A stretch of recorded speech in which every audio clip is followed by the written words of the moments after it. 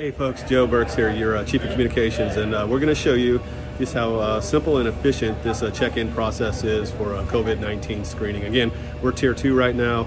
Watch this video and uh, get a better understanding of this.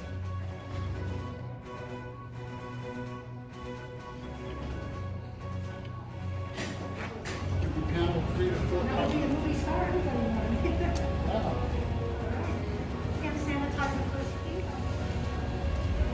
You go back, that's. How are you doing? Good, got your paper? Yes. So that's good, we're good to go now. There you go. All fixed that, we're good to go. Thank you, sir. Come on.